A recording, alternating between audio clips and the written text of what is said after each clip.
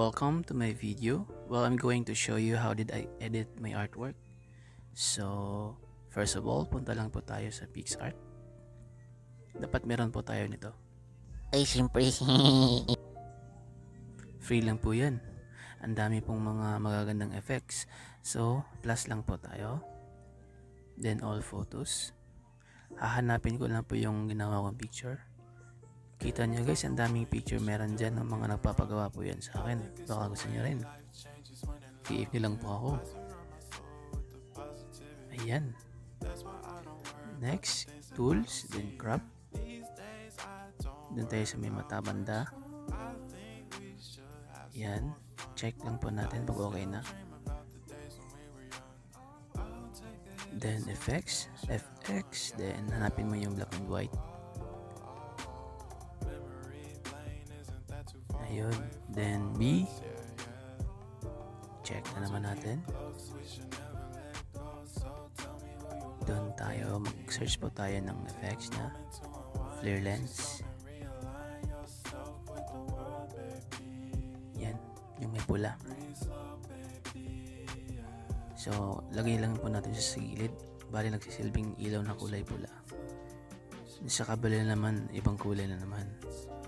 Kulay blue po yung gagawin ko doon. So, yan, check lang po natin. Ganon ulit. Then, punta po tayo sa adjust.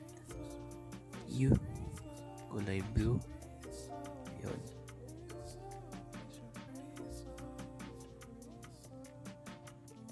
Ganon din. Pantayan lang po natin siya.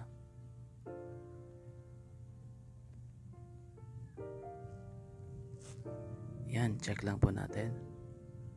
Sticker ulit. Punta po tayo sa islands. Hanap tayo ng libre.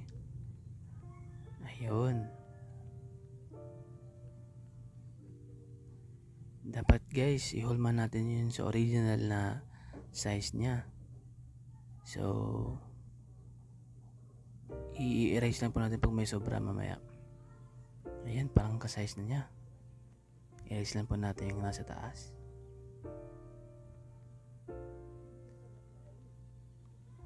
Parang kulang pa. Ulit. Ayan. Erase ulit natin yung may sobra. Easy lang po to. Then punta po, i-check po pagkatapos ito, check po natin. Punta po tayo sa opacity.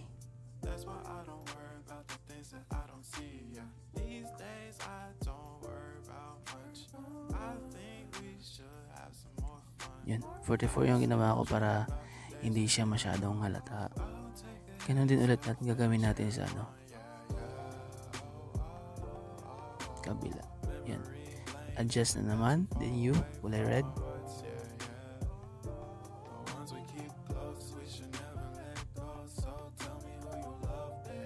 Ang hirap mag-adjust, no? Char lang.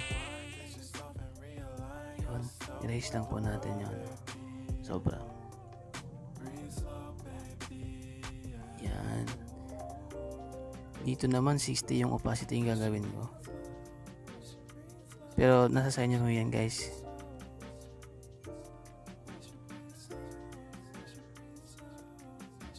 Check po natin mag okay na.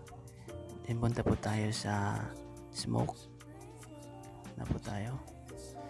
Yung ginawa ko is yung may kulay blue. Nasa na yun? Ayun. Lagay lang po natin siya dyan. Then erase na naman natin yung dapat erase. Yung dapat kailangan ibura.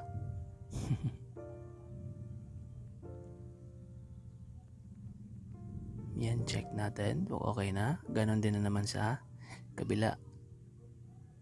Kulay blue siya kasi kulay blue yung nasa kulay niya. Ay, siyempre na naman. Dito naman sa red, ganon din. EU natin, then red. Yan. Ganyan na po siya guys. Erase lang na ulit natin yung mga dapat natin i-erase sa buhay natin. Na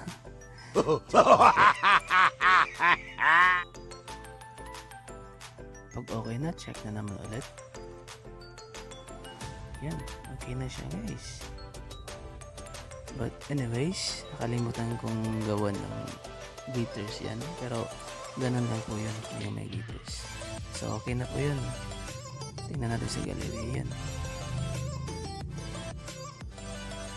Ayan po, ganyan lang po siya.